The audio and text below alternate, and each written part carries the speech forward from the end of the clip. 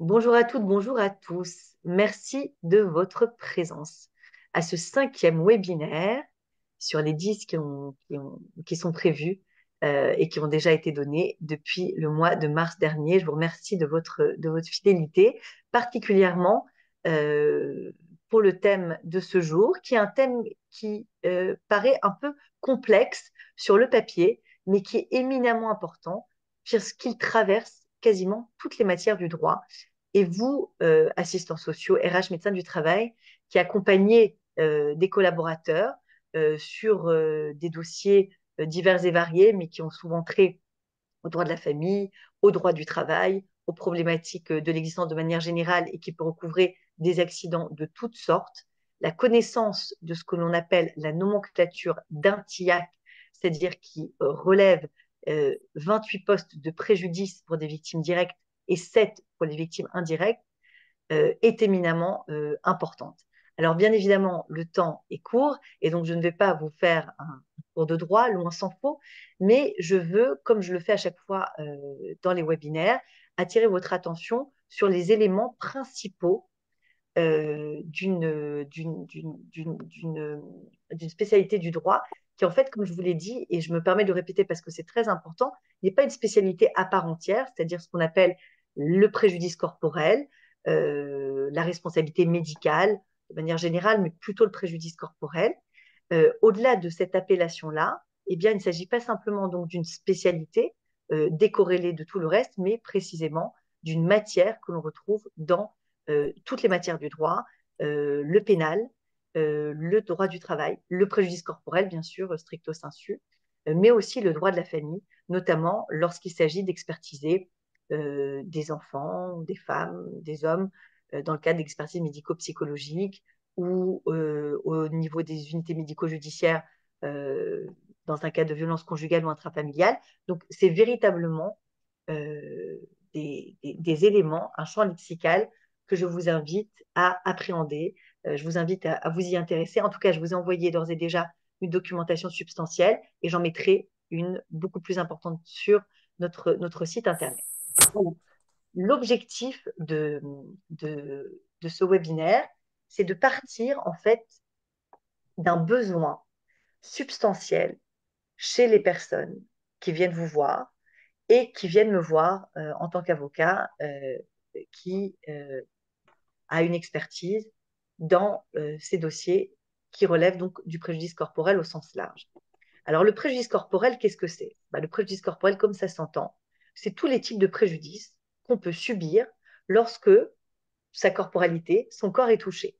Alors, le corps, bien évidemment, c'est pas que la partie physique, c'est aussi, et parfois surtout, la partie psychologique. Je vous donne un exemple. Vous avez entendu parler, bien évidemment, du syndrome de stress post-traumatique le syndrome de stress post-traumatique se retrouve dans la quasi-totalité des dossiers. Bien sûr, au pénal, lorsque vous êtes victime d'agression ou de violence, quelle qu'elle soit, que ce soit dans la rue, que ce soit euh, victime d'actes de, terrorisme, que ce soit victime de violence conjugale, que ce soit victime d'un accident de voiture, de trottinette, euh, même d'agression verbale, eh bien, vous avez ce qu'on appelle souvent comme conséquence de cette agression euh, un syndrome de stress post-traumatique parfois même en l'absence de lésions physiques ou corporelles. Donc ça, c'est un, comment dire, un focus sur lequel j'attire votre attention, c'est que lorsqu'on parle de préjudice corporel, on ne parle pas simplement de physique, mais on parle aussi de psychique et parfois que du psychique. Donc attention à ne pas se méprendre et attention à ne pas euh, se, se, désespérer en se disant que finalement, euh, si je veux faire valoir mes droits, toute la partie psychologique ne sera pas prise en compte. Que nenni, c'est bien la raison pour laquelle il faut absolument être accompagné par un avocat et par un médecin conseil, parce que dans la plupart des expertises, encore une fois, quelle que soit la matière du droit, la partie, psychologique ou psychique est éminemment importante et parfois elle est euh, exclusive. En tout cas, il faut absolument la valoriser. Donc, le préjudice corporel, c'est quelque chose d'extrêmement large. Vous la retrouvez donc aussi dans le droit du travail, dans le cadre des risques psychosociaux, quand vous êtes victime de discrimination, d'harcèlement ou que sais-je, vous pouvez avoir des troubles euh, physiques, euh, physiologiques, pathologiques, et donc effectivement des troubles, des troubles psychiques extrêmement, extrêmement importants. Donc, vous voyez que d'ores et déjà, dans les matières que vous avez à traiter, sur lesquelles vous accompagnez les collaborateurs de manière quotidienne, eh bien, la nomenclature d'un TIAC vient s'inviter sans que vous le sachiez. Alors, la, nomenclature d'un TIAC, qu'est-ce que c'est? La nomenclature d'un TIAC, c'est le pivot central de toute cette matière de préjudice corporel. Euh, cette nomenclature, elle a été nommée euh, d'un ancien président de la Cour de cassation, qui s'appelait M. Jean-Claude Dintiac, en 95, et qui a estimé que tous les postes de préjudice étaient beaucoup trop disparates, étaient éclatés dans la jurisprudence et dans tous les codes, dans le code civil, dans le code pénal, dans le code du travail, dans le code de, euh, l'action sociale, bref, que, que, cette vision-là, tous ces postes de préjudice-là étaient éclatés dans euh, différents codes et dans la jurisprudence pléthorique. Et donc, il a décidé de reprendre toute cette jurisprudence et de la compartimenter poste de préjudice par poste de préjudice. Et c'est là que cette matière devient extrêmement intéressante et qu'elle permet véritablement d'accompagner les collaborateurs en souffrance parce qu'elle permet de rentrer précisément dans le vécu de la personne et d'identifier, de qualifier juridiquement les faits en ciblant les postes de préjudice. Et ça, j'y viendrai euh, juste après. Donc, la nomenclature d'un TIAC, elle permet de préciser les postes de préjudice. Si je peux vous donner un exemple, en tout cas une vision à contrario, à contrario de ce que n'est pas la nomenclature d'un TIAC, la nomenclature d'un TIAC n'est pas ce que l'on appelle les dommages et intérêts en matière pénale. Vous le savez, même si vous n'avez pas accompagné euh, de collaborateurs euh, dans un tribunal, en correctionnel ou aux assises, et vous avez cette notion que l'on appelle les dommages et intérêts. Les dommages et intérêts, eh bien, ils suivent ce qu'on appelle la constitution avec partie civile.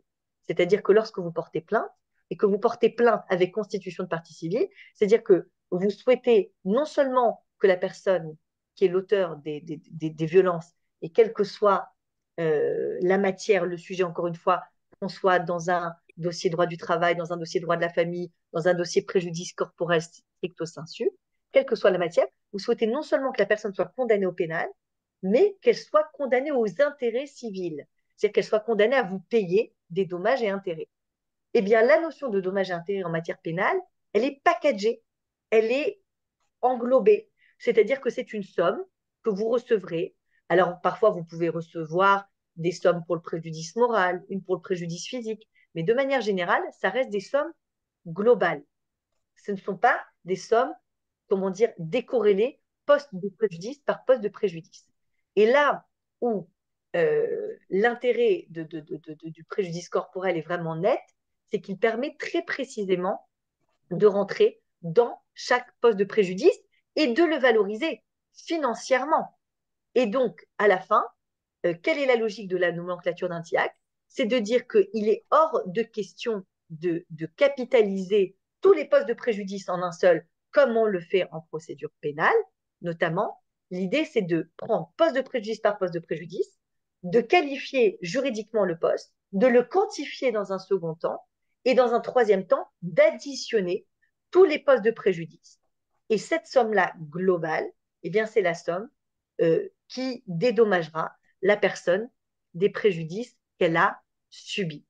Donc, vous voyez, j'espère avoir été clair, que la logique en préjudice corporel, elle est très intéressante parce que non seulement sur le plan du narratif, elle permet de reprendre toute l'histoire de la personne en lui demandant, alors, qu'est-ce que vous avez sur le plan physique? Qu'est-ce que vous avez sur le plan psychologique?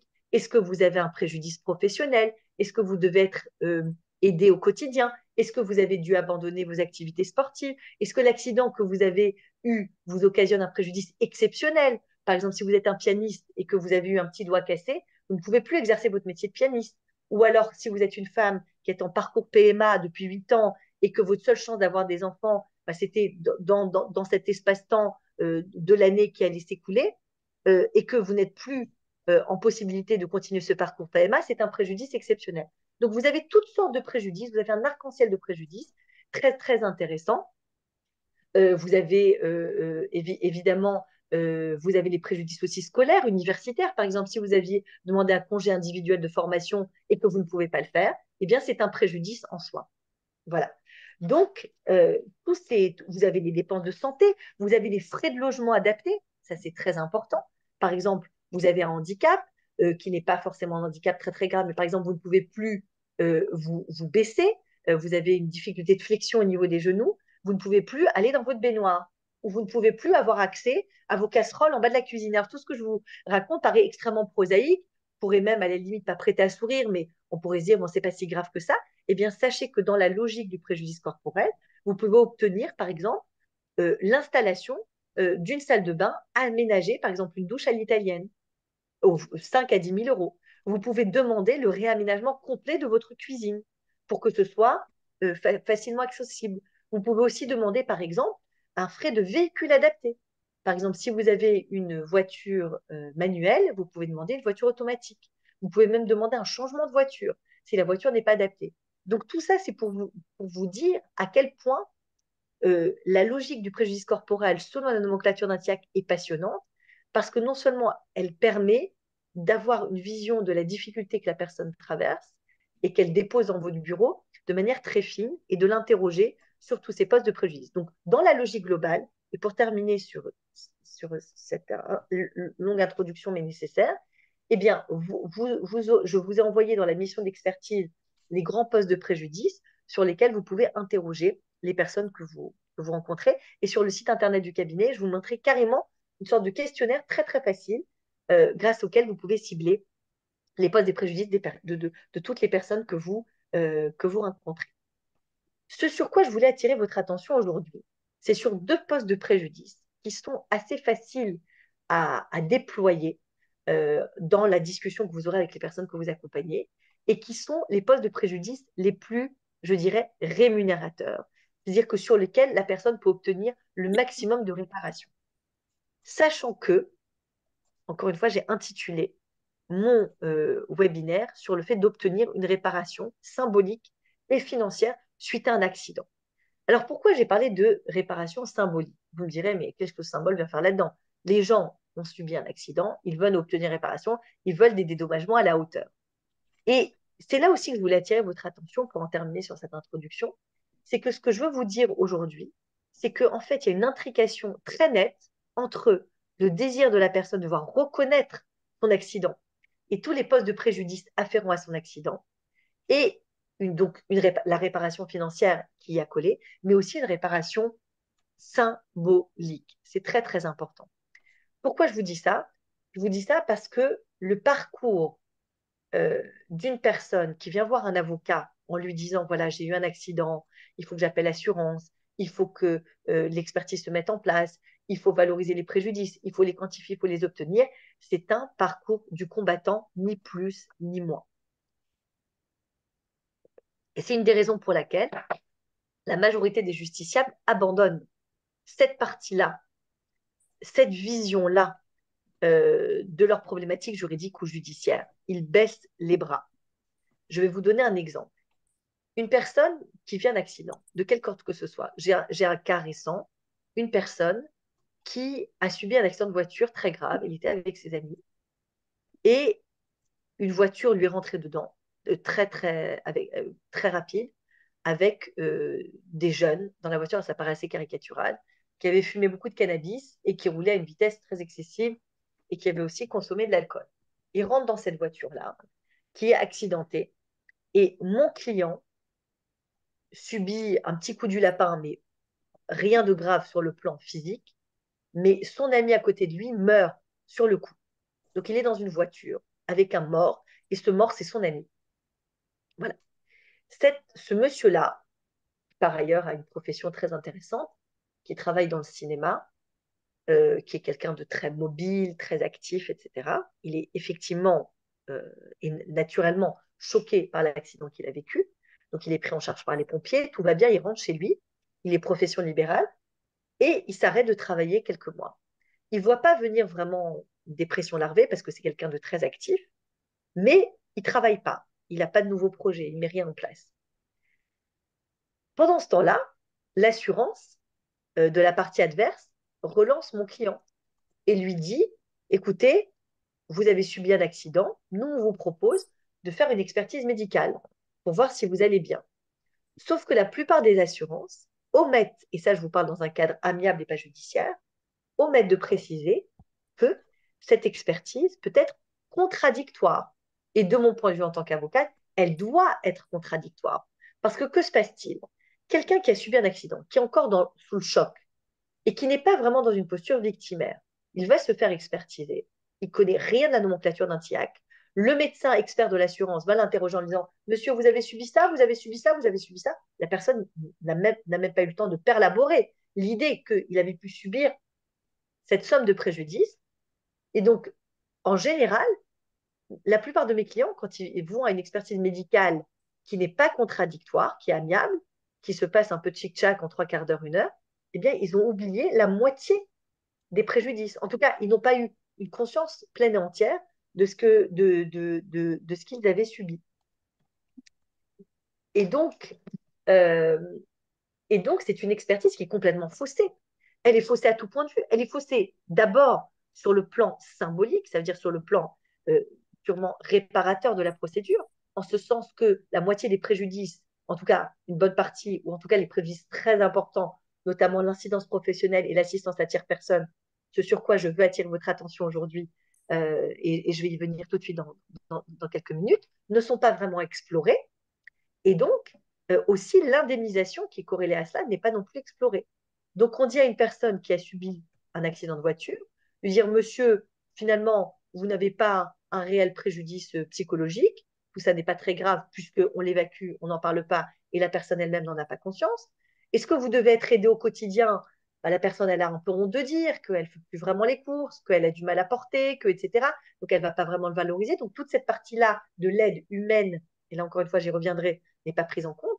Et le préjudice professionnel, parfois, il n'est pas pris en compte parce que que la personne soit salariée ou qu'elle soit à son compte, alors quand elle est à son compte, elle a du mal à valoriser vraiment ce qu'elle perd. Et en tout cas, sur le moment même, elle ne sait pas vraiment le dire.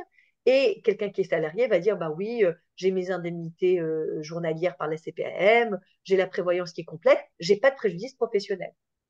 Or, le préjudice professionnel n'est pas simplement financier, il peut être une incidence professionnelle. C'est que par exemple, du fait de l'accident, eh ben, euh, l'évaluation annuelle va être moins élogieuse et on ne va pas avoir la promotion à laquelle on est escomptait. Vous voyez, c'est beaucoup de choses.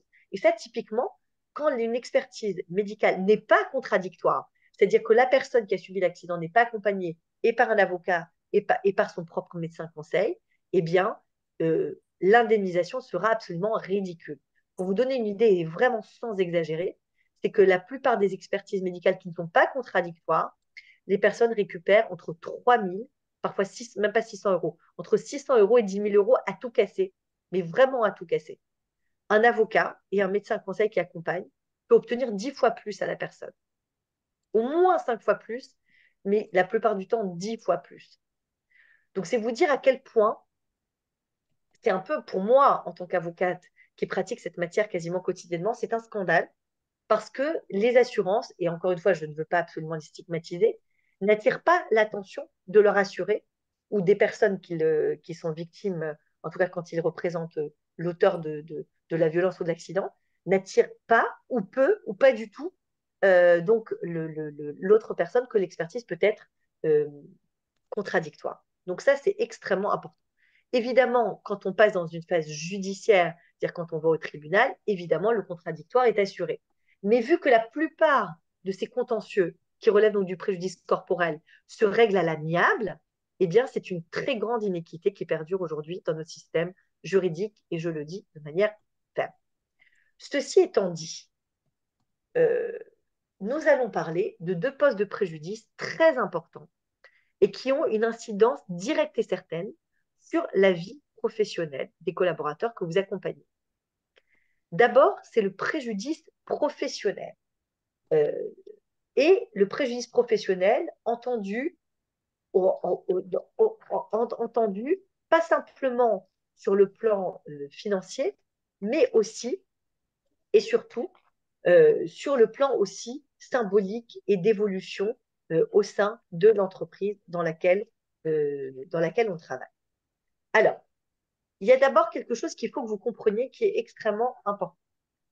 C'est que tous ces préjudices de la nomenclature d'un TIAC, et ça vous le, vous le retrouvez dans la documentation que je mettrai sur le site, si vous voulez le noter, c'est un petit peu complexe, mais vous allez comprendre assez rapidement, c'est décorrélé en deux grands blocs.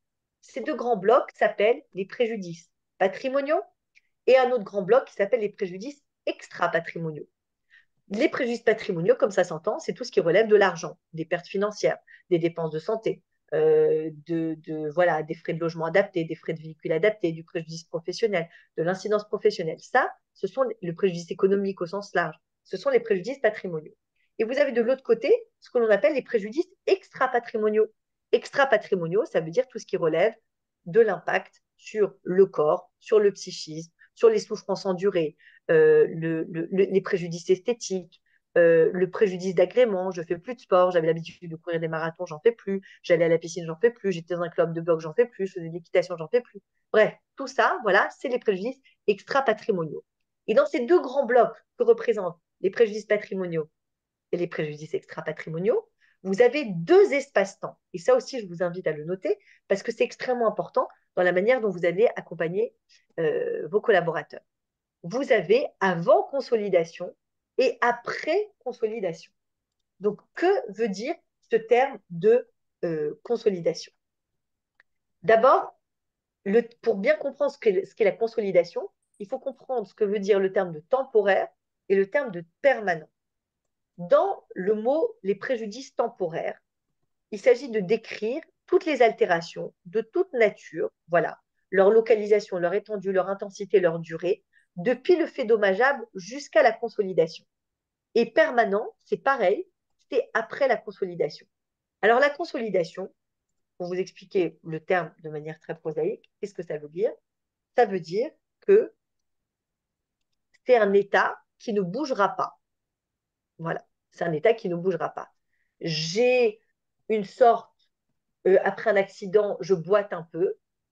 Euh, entre l'accident et la consolidation, je vais faire beaucoup de séances de kiné, je vais aller voir l'ostéopathe, euh, je ferai de la balnéothérapie, etc. Et ça va durer un an, deux ans, et on va voir quelle est l'évolution entre le moment de l'accident et le moment où on a commencé à se soigner et le moment où le médecin dit, donc ce temps qu'on appelle la consolidation, dit bah, regardez, monsieur, madame, malgré tout ce que vous avez fait, la kiné, la balnéo, l'ostéopathie pendant 12 ans, votre état s'est un peu amélioré, mais ce n'est pas non plus considérablement amélioré. Je décide de vous consolider. Ça veut dire, je décide de, de dire, de graver dans le marbre votre état de santé, à savoir que vous avez diminué votre, votre, votre boitiment, mais il restera à vie et, peut-être même qu'il pourra s'aggraver. C'est ce qu'on appelle cette notion de consolidation. Donc, vous avez tous les préjudices patrimoniaux, extra-patrimoniaux, qu'on décorrèle en deux sous-parties, avant consolidation et après consolidation. C'est extrêmement important. C'est-à-dire la consolidation, c'est vraiment l'état de la personne ne bouge pas. Et donc, tout ce que je vous ai dit, l'aide humaine et le préjudice professionnel, ce sont deux postes de préjudice qui s'évaluent avant consolidation et après consolidation. Alors, le préjudice professionnel, quel est-il avant, euh, la consolidation? Avant la consolidation, il va s'agir évidemment de perte de gain. Ça veut dire de demander à la personne, voilà, il vous est arrivé votre accident, est-ce que vous avez des pertes, des pertes, des pertes de gains? Alors évidemment, là, on reprend les arrêts de travail, les arrêts de longue maladie, etc. Et donc l'idée, c'est parfaitement de décrire l'interruption des activités professionnelles depuis l'accident jusqu'à la consolidation. Sachant que dans cet espace-temps du préjudice professionnel temporaire, vous avez plein de choses qui se passent sur le plan professionnel de la personne. La personne, elle peut être arrêtée un certain temps, elle peut euh, obtenir une, reprise partielle, elle peut obtenir une condition euh, euh, et, un aménagement de, son temps de travail, de ses conditions de travail. Donc, il y a beaucoup de choses qui peuvent, se, se dérouler. Et ce qui est très important, c'est de pouvoir décrire précisément l'avant et l'après. C'est-à-dire d'évaluer quelle est la capacité de la personne à reprendre, soit totalement ou partiellement, indépendamment des arrêts prescrits, etc., son poste comme elle l'avait avant. Vous voyez, je, je, fais sourire un peu mes clients quand je, quand je dis ça. En fait, l'exercice que vous devez faire avec les personnes que vous accompagnez, c'est un avant-après, comme dans les magazines féminins, avec des coupes de cheveux. Voilà, avant, vous aviez les cheveux longs, après, vous avez les cheveux courts, Et c'est aussi basique que ça. Évidemment, vous, en tant que professionnel, en tant qu'assistant social, médecin du travail ou RH, vous devez évidemment intégrer des, des, des, des, éléments techniques, évidemment les arrêts de travail, etc. Mais en tout cas, quoi qu'il en soit, c'est la manière ouais, dont, dont, il faut, dont il faut euh, évaluer les choses. C'est extrêmement euh, important. Et en fait, la partie la plus importante en matière de préjudice professionnel et d'incidence professionnelle, c'est pas tellement avant la consolidation, parce qu'avant la consolidation, souvent, c'est couvert par le jeu de la CPAM et de la prévoyance, et on est dans une forme d'attente. C'est-à-dire que la personne, elle est en train de se réparer, de se guérir, de faire des séances de kiné ou, quoi que ce soit d'autre, et donc son état est un petit peu, on va dire, n'est pas encore complètement déterminé. Donc, les, préjudices qu'on peut prendre en compte dans cette partie avant consolidation, c'est de décrire un petit peu la dégradation des conditions de travail qu'a subi la personne. Et lorsque la consolidation arrive, à ce moment-là, eh bien là, on a vraiment le gros du préjudice qu'on peut évaluer. Là, on peut avoir big picture, comme disent les Américains. On peut avoir la photographie exacte de ce que la personne a perdu sur le plan professionnel et sur le plan de l'évolution et sur le plan financier suite à, cette, euh, à cet accident. Donc très clairement, le, le, en termes de définition, euh, l'incidence professionnelle, il s'agit d'indemniser la victime de la perte ou de la diminution de ses revenus consécutive à l'incapacité permanente à laquelle elle est désormais confrontée dans la sphère professionnelle à la suite du dommage. Alors, c'est quoi cette incapacité permanente? Cette incapacité permanente, elle vient suite à la consolidation.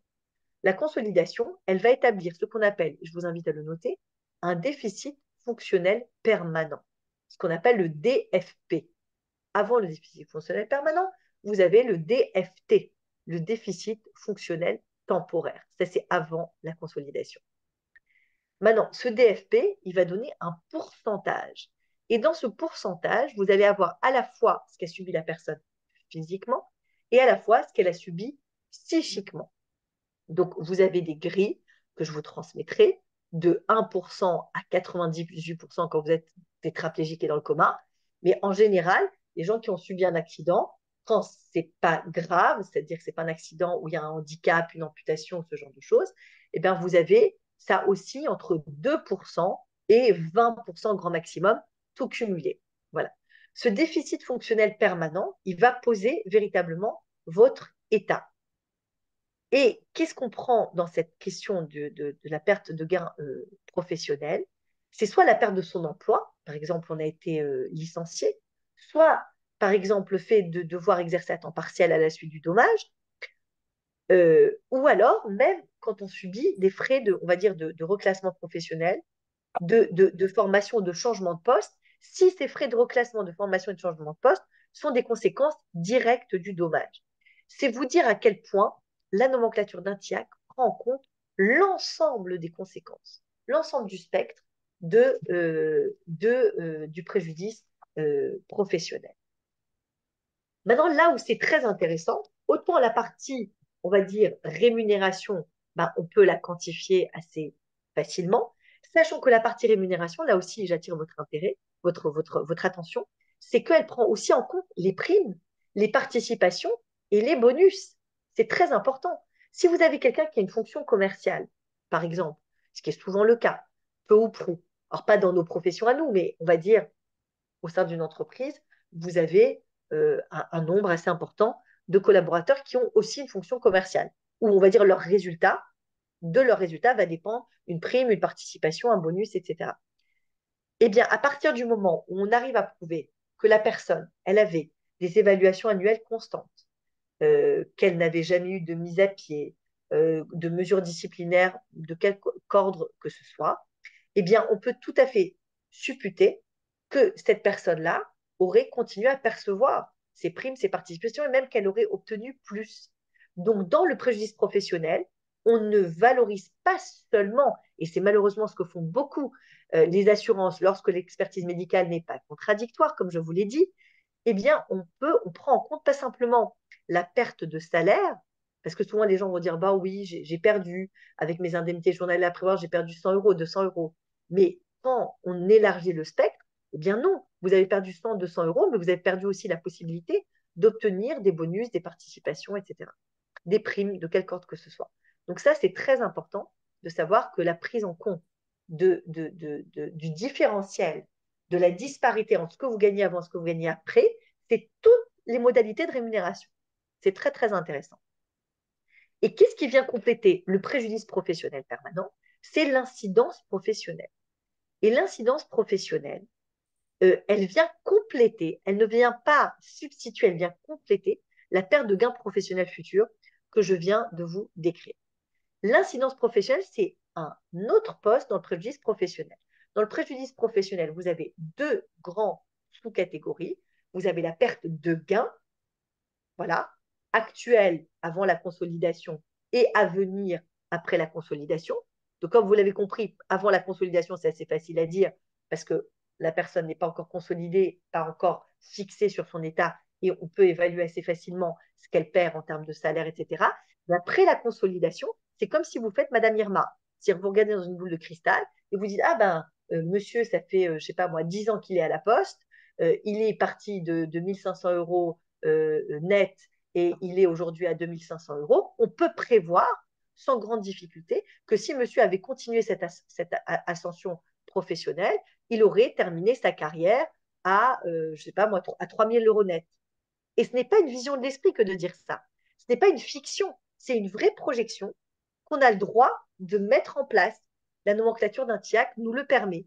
À partir du moment, et je vous invite à noter ça, où on a un faisceau d'indices suffisamment concordants, on n'a pas évidemment la preuve. On ne sait pas. Vous savez, c'est comme dans un film au cinéma. Et si, si on avait choisi, si on s'était marié avec telle personne, et si on avait fait ci, si on avait fait ça. Et eh ben, c'est un peu cet exercice de style auquel on se prête dans la nomenclature d'un TIAC, c'est qu'on suppute, on, se projette en se disant, bah, au regard de la constance, de la stabilité de cette personne au sein de cette entreprise, voilà ce qui aurait pu arriver logiquement et voilà ce qu'il perd. Et vous imaginez qu'à la fin, ça fait des montants assez importants. Si on dit qu'une personne, du fait qu'elle a perdu sa fonction commerciale, elle perd un bonus de 20 000 euros par an, qu'elle a eu, par exemple, qu'elle avait 45 ans au moment, on va dire, on va faire quelque chose de simple, qu'elle avait 50 ans au moment de son accident, qu'il lui reste 14 ans à travailler jusqu'à sa retraite, ok? Donc ça veut dire qu'elle a perdu 10 000 euros par an. 10 000 euros x 14, ça fait 140 000 euros. Je ne sais pas si vous imaginez. Et la plupart des, personnes qui ont des accidents ne pensent même pas à ça. Et c'est typiquement ce qu'on peut, ce qu'un avocat peut négocier. Je ne vous dis pas qu'on l'a automatiquement, mais à partir du moment où les préjudices de la personne sont liés de manière directe et certaine, c'est-à-dire les conséquences de, de l'accident peuvent être établies de manière directe et certaine, c'est-à-dire que l'imputabilité est établie de manière nette et qu'on arrive à reconstituer l'histoire professionnelle de la personne et de dire, mais cette personne, elle a un préjudice énorme. Si elle avait continué dans cette société, non seulement elle aurait, elle aurait, grandi euh, en termes d'expertise, euh, peut-être elle aurait une place plus importante dans l'organigramme, elle aurait mieux gagné sa vie, etc. Et donc tout ça, ça peut se valoriser. L'incidence professionnelle, donc, qu'est-ce que c'est? L'incidence professionnelle, elle n'a pas pour objet d'indemniser la perte de revenus, comme je vous ai dit, liée par exemple à une invalidité permanente de la victime, mais ce sont les incidences périphériques du dommage qui touchent la sphère professionnelle. Par exemple, tout simplement la dévalorisation sur le marché du travail, une perte de chance professionnelle, une augmentation de la pénibilité de l'emploi qu'elle occupe, imputable au dommage, qui a nécessité par exemple d'abandonner sa profession. Vous voyez, par exemple, un reclassement, c'est un abandon. Vous prenez pas, j'ai eu par exemple le cas d'un de mes clients qui est conducteur à la SNCF et qui subit, comme malheureusement la majeure partie des conducteurs de la SNCF, des suicides sur, sur, tout son train. C'est très traumatique pour un conducteur. Euh, c'est pas lui qui a voulu le suicide de la personne, mais même s'il a fait tout son possible pour que ça n'arrive pas, il est, euh, il est confronté à la mort. Et c'est très difficile. Et un de mes clients, il a subi un suicide, deux suicides, trois suicides. Et il a été en arrêt longue maladie. Il ne peut plus continuer à travailler. Or, ça fait 20 ans qu'il est conducteur de train. Il adore être conducteur de train. C'est sa passion, c'est sa vie. Il a toujours été à la SNCF. Il a démarré quasiment à la SNCF. Et là, il a 45 ans et il est complètement fermé euh, psychiquement parce qu'il a trop subi et euh, il abandonne un métier de passion. Donc, vous voyez, quand bien même la SNCF le reclasserait à un autre poste, un poste sédentaire, il perd tout ce qu'il faisait le sel, le sucre de son métier. Il perd la passion de son métier. Voyez? Donc, ça, c'est vraiment quelque chose euh, qui est important quand on parle d'incidence professionnelle, c'est l'abandon d'une profession qu'on exerçait au profit d'une autre en raison de la survenance d'un handicap. Et ce faisant, l'incidence professionnelle, dans ce poste de préjudice-là, eh bien, on va aussi intégrer des frais de reclassement professionnel, de formation, de changement de poste. Voilà. Et donc, tout ça, c'est une vision extrêmement pragmatique et très, très large de ce que euh, la personne peut euh, subir. Euh, l'incidence professionnelle, et là où c'est très intéressant, c'est que même si une personne fait une reconversion réussie, par exemple, mon client conducteur à la SNCF, vu que c'est quelqu'un qui a du, du, une grande capacité de résilience, bah, il s'est inscrit à la CNAM et il fait un diplôme de psychologue. Donc c'est super, bravo à lui. Mais quand bien même sa reconversion serait réussie, ça ne, ça ne permet pas à, par exemple, la SNCF ou n'importe quelle autre société de, de, faire l'économie du dédommagement de son incidence professionnelle. Puisque même s'il a fait une reconversion réussie, il a quand même abandonné un métier passion. Voyez? Donc c'est quelque chose d'extrêmement fin, euh, l'incidence euh, professionnelle. Euh, voilà.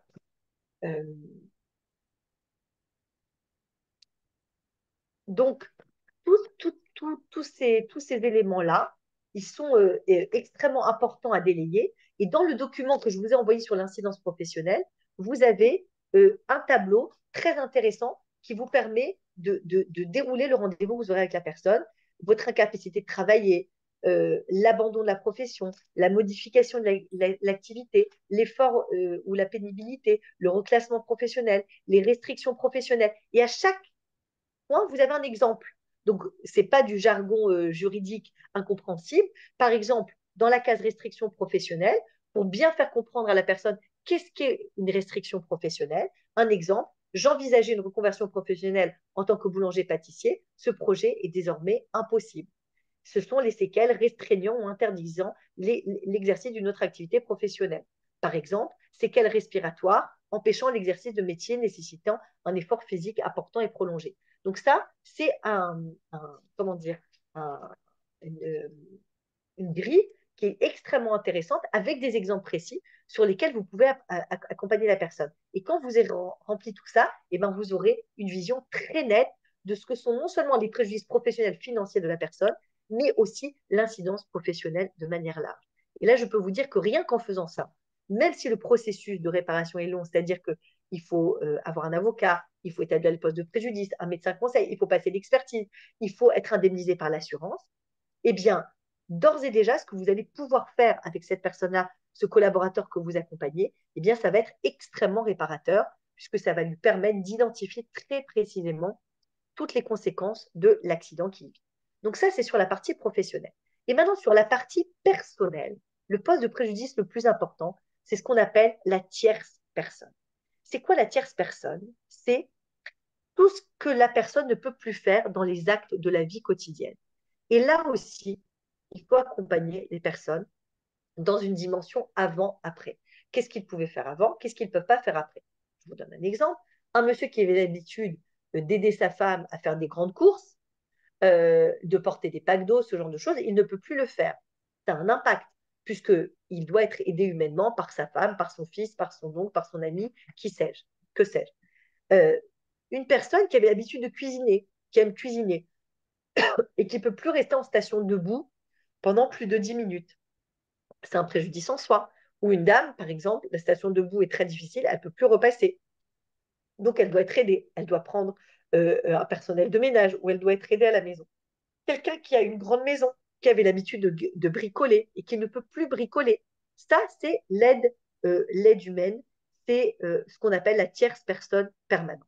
Et ce chef de préjudice est le plus important pour la victime, puisque la réparation doit lui garantir de retrouver autant que...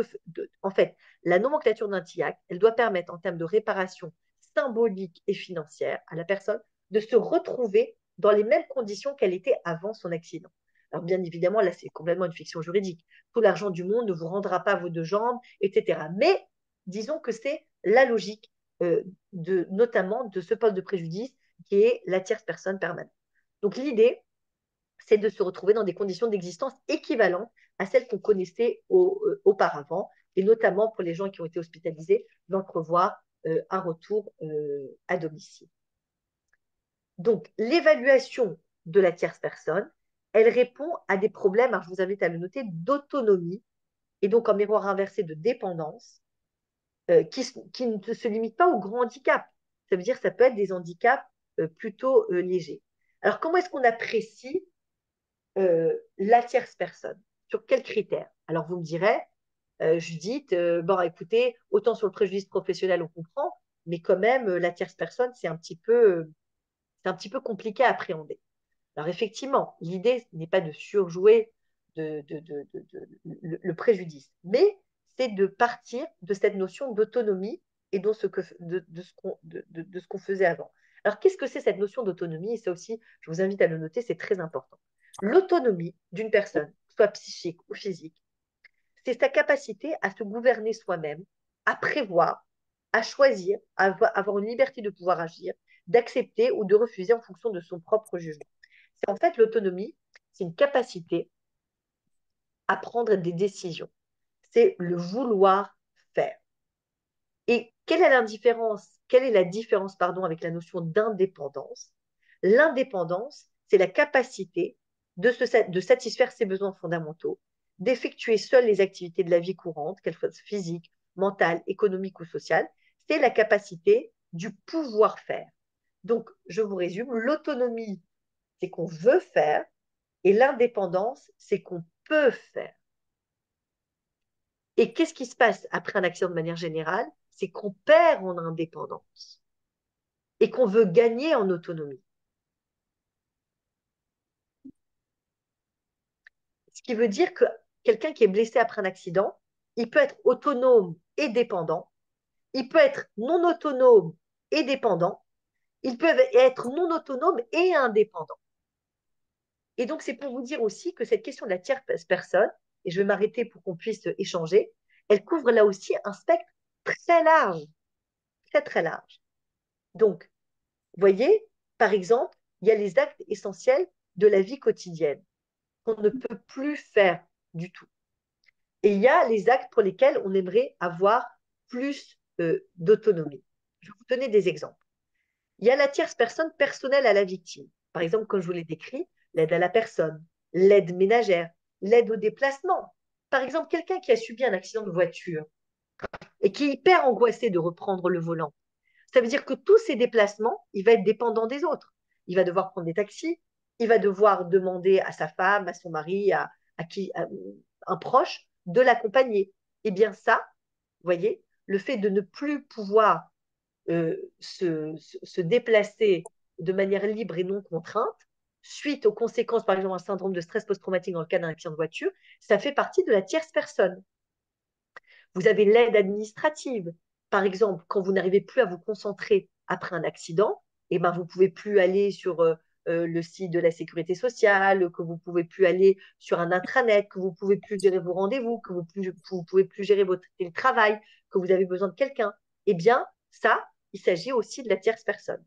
L'aide organisationnelle, bien sûr, au niveau de la maison le contrôle, la surveillance, la sécurité. Vous voyez, par exemple, quand vous, vous avez une salle de bain non adaptée et que vous avez peur de prendre la douche tout seul, eh bien, le contrôle, la, demande de surveillance, de sécurité que vous demandez à vos proches, ça fait partie de la tierce personne. Vous avez aussi la tierce personne au niveau de l'aide à la parentalité. Vous êtes une maman, vous avez des jeunes enfants, suite à un accident, vous ne pouvez pas vous en occuper, bah là, il y a la garde d'enfants, mais pas simplement la garde d'enfants, il y a l'entretien des enfants, il y a les doucher, leur donner à manger, faire des machines, etc. Il y a la vie scolaire, il y a la vie périscolaire, il y a tous les déplacements, il y a toutes les vacances que vous aviez l'habitude de faire avec vos enfants. Si par exemple vous partiez au ski tous les ans, ou je ne sais pas moi, vous avez, vous avez euh, je sais pas moi, une résidence secondaire à Biarritz et que vous faites du surf tous les étés que vous ne pouvez plus en faire, et eh bien ça, vous allez avoir besoin de quelqu'un pour amener les enfants ou d'un moniteur pour les enfants. Ça fait partie de la tierce euh, personne. Et vous avez enfin une notion de tierce personne qui est la tierce personne par ricochet. C'est l'aide à la personne pour remplacer le conjoint accidenté d'une personne dépendante. Imaginez que vous avez quelqu'un, vous avez euh, un conjoint qui est déjà handicapé et que vous-même vous subissez un accident de voiture, non seulement vous allez demander une aide à la personne pour vous-même qui avait subi un handicap, mais vous allez demander à ce que l'accompagnement, puisque vous, vous étiez, je vais vous prendre un exemple très simple, un aidant familial. Un aidant familial qui a chez lui un parent qui a un Alzheimer ou un handicap de quelque sorte que ce soit, et qui a un handicap. Eh bien, du fait de son handicap, non seulement lui va devoir être aidé, mais par ricochet, il va devoir euh, euh, demander une aide supplémentaire pour accompagner son parent euh, âgé. Vous voyez à quel point c'est fin, cette question de, de, de personnes, c'est extrêmement fin. Et euh, moi, je rebranche mon ordinateur.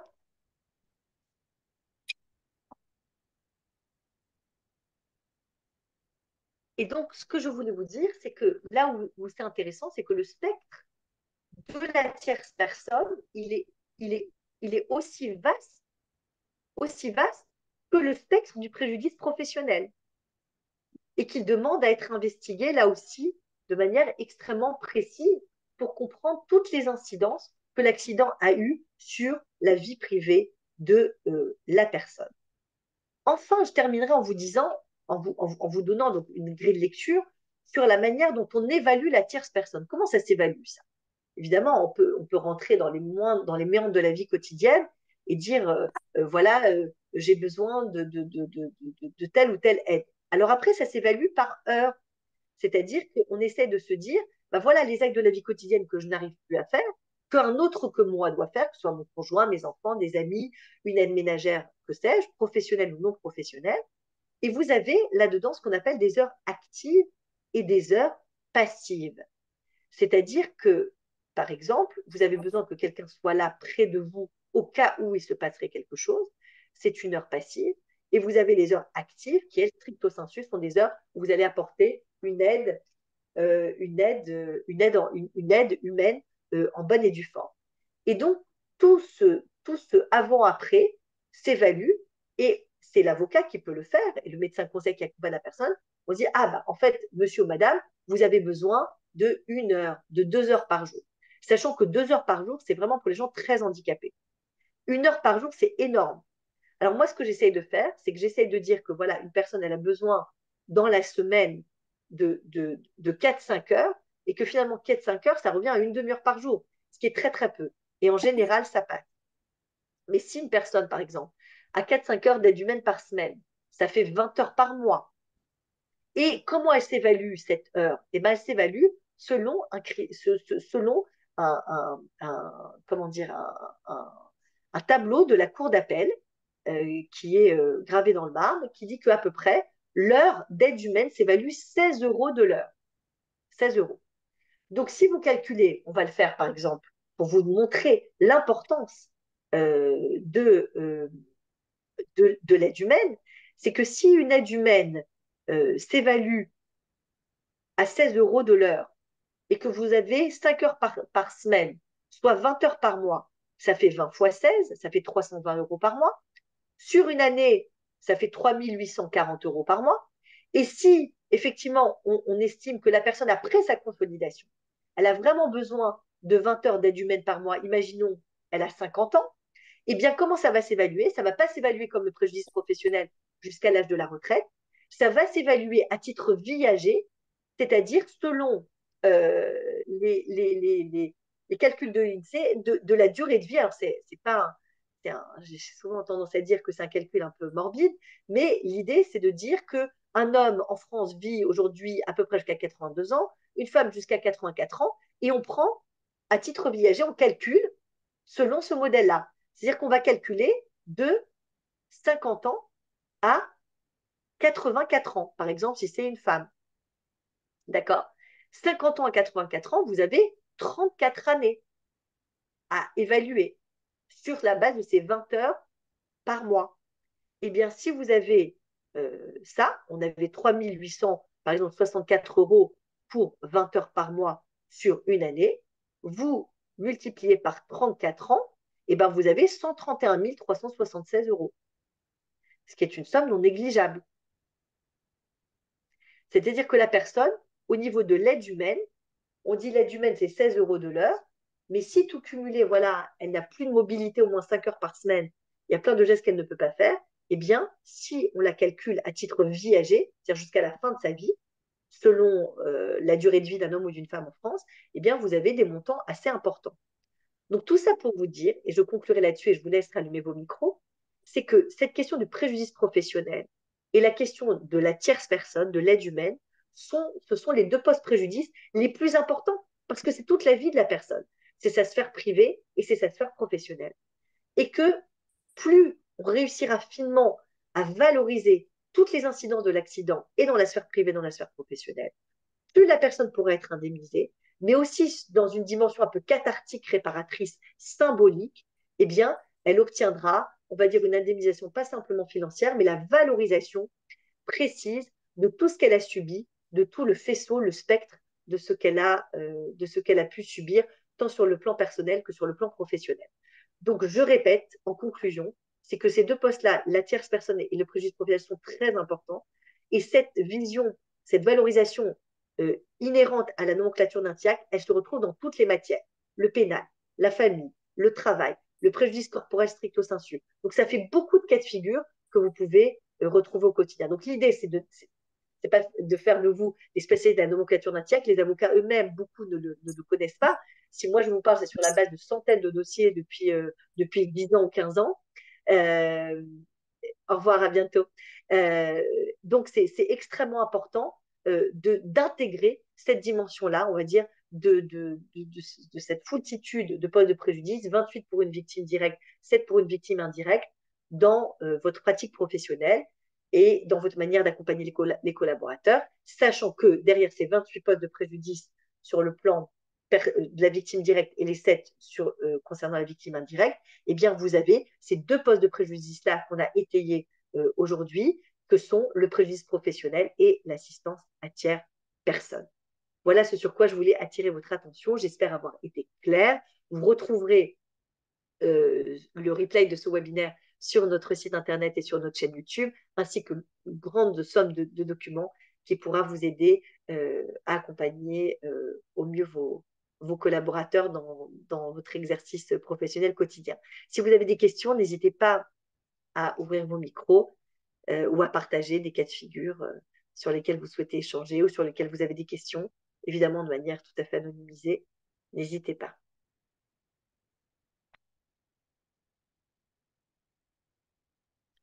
Alors peut-être que voilà, j'imagine que vous devez euh, retrouver le, cours de, votre activité professionnelle. En tout cas, je vous remercie de votre présence, de votre écoute. Si vous avez des questions, n'hésitez pas. Euh, vous pouvez m'écrire à, mon adresse mail que vous connaissez, judith-buchinger-rubin.com. Euh, sur le site internet du cabinet, voilà, buchinger-rubin.com. Donc n'hésitez pas, je réponds en général de manière assez réactive sur 48 heures. Et si vous avez des personnes que vous accompagnez qui ont eu un accident de quelque sorte que ce soit, euh, vous pouvez leur transmettre le bon de consultation juridique gratuite. Je reçois toujours sans limite de temps et surtout sur ces questions-là, je prends tout le temps. C'est souvent des consultations gratuites d'une heure à deux heures euh, où je fais justement ce travail-là d'essayer de, bien cibler tous les postes de préjudice que la personne a subis euh, pour voir la faisabilité du dossier et l'accompagner au mieux. Je vous souhaite une bonne après-midi et je vous dis